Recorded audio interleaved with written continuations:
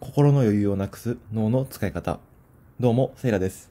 今回の動画では、僕たちが無意識のうちにやってしまっている心の余裕をなくしてしまう脳の使い方について解説していきます。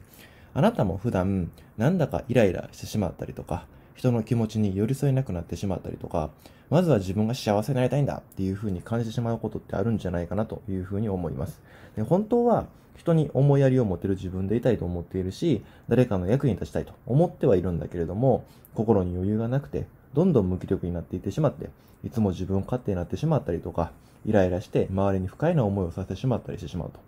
僕もね、同じようなことをしてしまっていることがあったので、この気持ちってすごくよくわかるんですけれども、でも逆に、今日はすごく調子がいいなとか、すごく心が明るくてあったかいな、仕事がはかどるな、みたいな日もあったりするわけじゃないですか。じゃあ、この心の調子の違いっていうのはどっから生まれているのっていうことですよね。実はこれ、脳のとある使い方をしてしまっているかしていないかというところに秘密があるんですけれども、今回の動画では危険な脳の使い方と心に余裕が生まれていく脳の使い方のエクササイズを詳しく解説していこうと思います。で今回話す脳の使い方を理解して実践していれば、自分の不調の原因がわかるようになるし、普段からね、自分の心を安定させる方法がわかるようになってくると思いますので、ぜひ最後まで見て実践していただけたらなというふうに思っております。でこのチャンネルでは、自然体で愛される方法について詳しく解説しております。僕たちって実は、普段の無意識の行動や言動によって、周りに自分の印象を定着させさせてしまっていたりだとか、普段の心の状態がそのまま相手とのコミュニケーションに現れてしまって、無意識に人から嫌われていく振る舞いになってしまっていたりするものなんですよね。でも、多くの人はその無意識の自分の行動に気づけずに、知らぬ間に自分の評価を下げていってしまってるわけなんですよ。このチャンネルでは、その無意識にやってしまっている人を遠ざける悪習慣というものを浮き彫りにさせて、どのように変えていくといいのかということをですね、日々紹介させていただいておりますので、ぜひチャンネル登録をして他の動画も楽しんでいただけたらなというふうに思います。で、まずですね、人がなぜ心の余裕を失っていってしまうのかということから考えていこうかなというふうに思うんですけれども、心の余裕がなくなるのは僕たちの脳を酷使することですね。はい。酷使することが原因なんですよ。酷使することによってエネルギーが目減りしていってしまうということなんですよね。あなたも経験したことがあると思います。朝からずっと慣れない環境に居続けたら夜になって何もする気になれなくなってもう今日は何もしたくないよっていうふうにですね、布団にダイブしてしまうと。うん、人ってこのように自分のエネルギーがなくなってくるとどんどん無気力でネガティブな状態になっていってしまいますしこの状態で人と関わるとどんどん周りからエネルギーを奪っていくエネルギーヴァンパイアと呼ばれるものですねになっていってしまうということなんですよね。なので、常にこのエネルギーを浪費させずにうまく使っていくことが大事なわけなんですけれども、そのために重要になってくるのが何度も言っているように脳の使い方なんですよね。では、ダメな脳の使い方というのは何なのかというところなんですけれども、脳には実は苦手な動きがあって、それがながら行動なんですね。マルチタスクと呼ばれるものです。これは結構有名なので知ってる方も多いと思うんですけれども、人間の脳はマルチタスクをすることでパフォーマンスを大きく下げてしまうと言われているんですね。マルチタスクとは別にいろんな仕事を同時に行ったりすることに限らず、仕事をしながらゲームのことを考えていたりとか、勉強しながら彼氏、彼女のことを考えていたりとか、目の前の人と話しながら自分でどう思われているのかなって考えたりとか、スマホの通知が気になったりとかですよね。そういったことを考えたり気になったりするっていうのも同じです。そうやって目の前のこととは別の思考が頭の中をぐるぐるしている状態っていうのは、すごいスピードでエネルギーを食い潰していってしまうということなんですよね。でこれを妄念妄想というふうに呼ぶんですけれども、妄念妄想が多い人っていうのは、総じて心に余裕がなくて、いつも無気力な傾向にあるんですね。だから、脳の使い方をしっかりと変えていくのが大事で、なので、とにかくですね、毎日毎日、目の前のことに集中して、それを完了させていくということを、えー、癖づけていくということが大事になってくるよということなんですね。でこれは僕も大阪の葛葉に引っ越してすぐにですね、まあ、白服コーヒーのスタッフとして入らせていただくようになったわけですけれども、その瞬間にですね、教えていただいたことでした。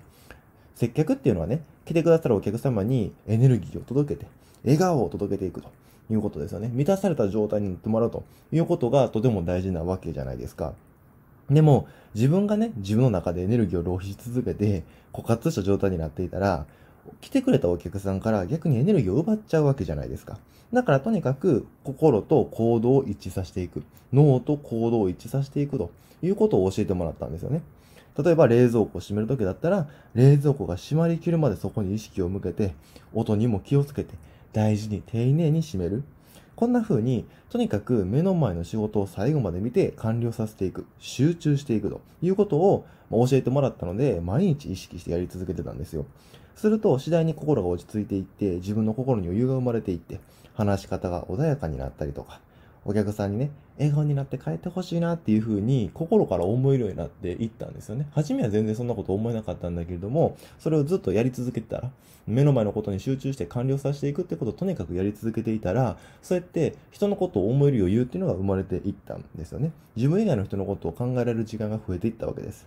だから本当に心と行動を一致させていく、脳と行動を一致させていくっていうこの意識ってめちゃくちゃ大事だなと思っているし、ぜひ実践してみてほしいなというふうに思ってます。掃除をするならね、目の前の床が綺麗になることだけをイメージしながら、無心でふきふきするとかね、うん。シャワーを浴びるときに、そのシャワーが当たる感覚だけをもうひたすら味わうとか、余計なこと考えずにね、とにかくシャワーのもうパーってこう水が当たってる感覚っていうのを楽しんだりとか、自分の中からなんていうかな、こう、嫌な妄想であったりとかね、嫌な考えが流れ落ちていくようなことだけをイメージするとか、えそういうふうにですね、一つのことをイメージするということをやっていっていくと。あとは外を歩くときに自然を感じ尽くすとかね、空気を美味しいなって感じるとか、あんとこに緑があったんだなっていうふうに楽しむとか、